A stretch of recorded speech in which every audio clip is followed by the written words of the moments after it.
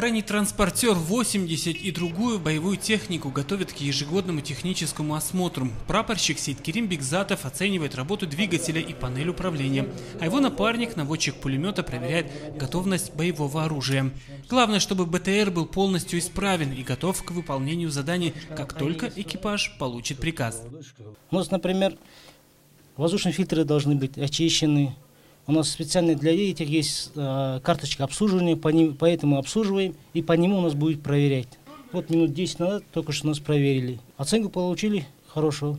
Воинская часть 6698 обеспечивает безопасность и порядок в основном в исправительных учреждениях. Военнослужащие осуществляют охрану колоний и перевозку заключенных, охрану закрытых военных баз.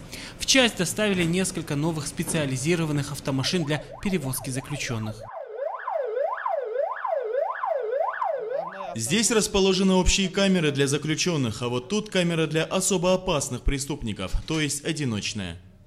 Машина для перевозки заключенных оснащена современным оборудованием безопасности. Здесь установлено две внутренние видеокамеры, три сигнализации, световое оборудование для проверки заключенных. Ну и, конечно же, телефонная связь с водителем.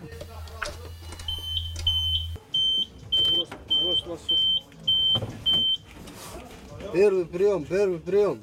С целью определения боевой готовности, то есть, как вы сами видели, я проверяю тормозную систему, влияющую на безопасность дорожного движения, световую сигнализацию, то есть, чтобы мы свободно могли передвигаться в городе, как все участники дорожного движения.